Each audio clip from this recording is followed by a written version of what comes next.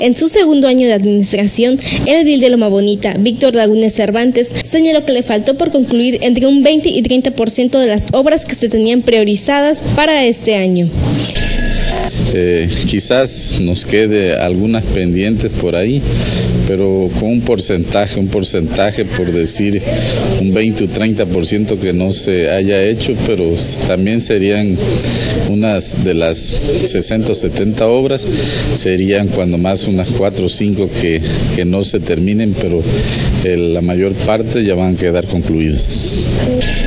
En una entrevista para este medio señaló que el no haber terminado las obras no implica ningún problema, ya que la mayoría de estas fueron de beneficios para el pueblo y las que no se concluyeron se terminarán en el próximo año. Estas son unas obras muy importantes para nuestro municipio. Eh, son unas pavimentaciones de los dos caminos, el camino que va rumbo a Tlacojalpan, que ya hay una pavimentación ahí de casi 6 kilómetros, y otra que va del, del aeropuerto a Mistán. Esta ya este, se iniciaron los trabajos de pavimentación. Ahí este, ya están tres, va por etapas, son tres kilómetros. Eh, en diciembre ya también más o menos se llevan a cabo otros tres kilómetros, va a ir por etapa.